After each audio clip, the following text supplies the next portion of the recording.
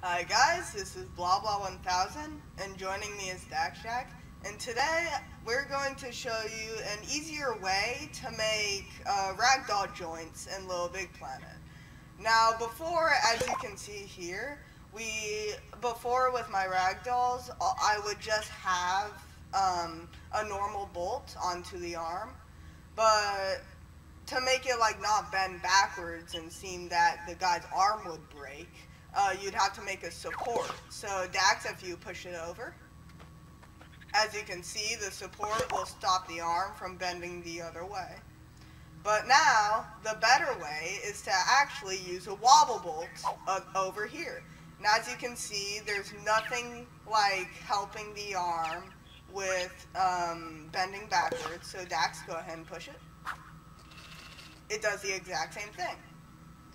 Now, how to do this is basically wobble bolts, um, as if you play Little Big Planet, you know, uh, they only go, they're not like motor bolts where they go all the way around. They just go in a specific angle.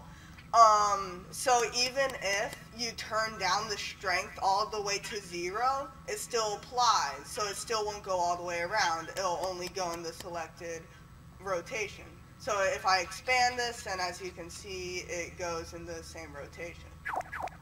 So then, to apply this to ragdolls, as you can see, this is just a normal ragdoll, except its arms are set to the rotation and they're just standing up. And also, the legs don't bend backwards, if you can kind of see there. Kind of hard to see. So yeah, that's basically it. So, if I blow him his head, as you can see, the knees don't bend like this way. Alright, so that's basically it. There's a little quick tip. Thanks for watching. Please rate, comment, and if you like this video, subscribe. And I will see you guys later. Say bye, Dax.